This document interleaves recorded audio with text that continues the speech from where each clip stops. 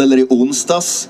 Och man brukar ju säga om visdiktare, så här, de gamla visor från flera decennier sedan, att de är, tänk att de fortfarande är aktuella. Och det, eller ibland till och med, den här låten är mer aktuell än någonsin och så vidare.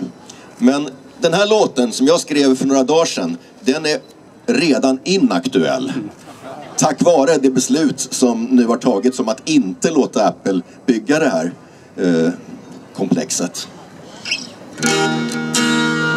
Så den handlar alltså om någonting som inte kommer att inträffa, tror vi. Ja.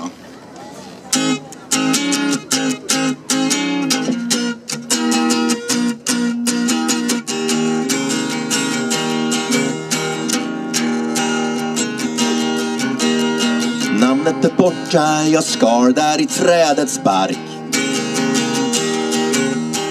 Byggde en elektronikbutik i min park. Humlan surr i luft och ljus trängs undan av ett varuhus. De byggde en elektronikbutik i min park.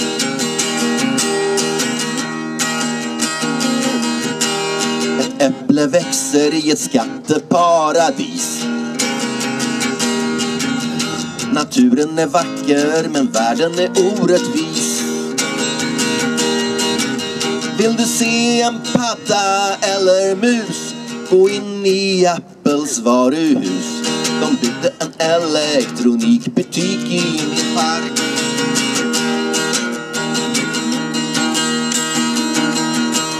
De tog alla träd och stoppade in dem på ett trädmuseum.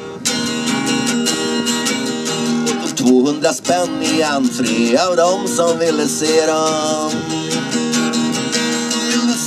se padda eller mus Gå in i Apples varuhus De byggde en elektronikbutik i min park.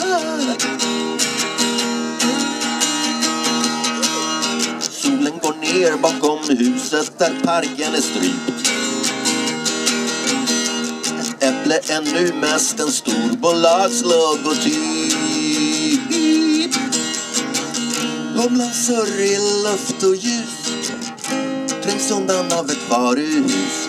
De byggde en elektronikbutik i min park Namnet är borta, jag skar där i trädets bark.